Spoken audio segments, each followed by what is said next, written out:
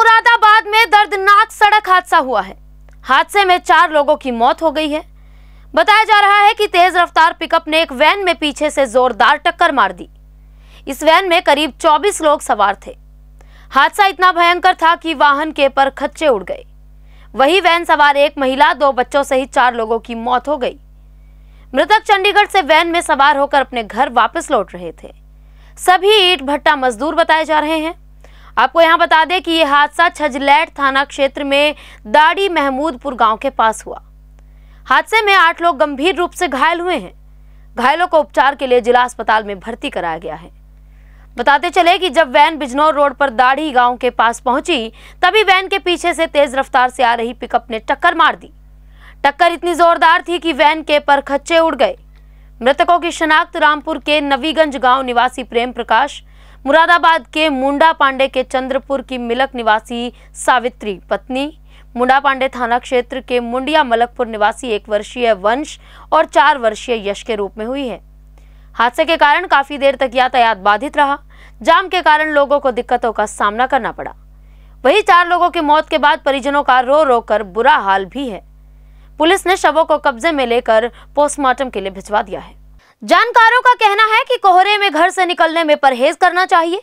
जानकारों का यह भी कहना है कि वाहन चालकों को सर्दी के मौसम में अपने वाहनों को चलाते समय अतिरिक्त सावधानी बरतने और यातायात से संबंधित कुछ ज़रूरी हिदायतों का पालन करना चाहिए।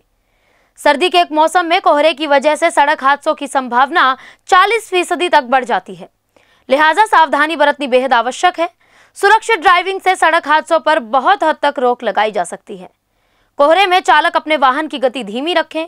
धीमी गति से न केवल स्वयं, बल्कि दूसरों को भी सुरक्षित रख सकते हैं।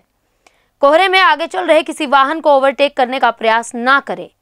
वाहन की हेडलाइट्स को हाई बीम पर ना रखें।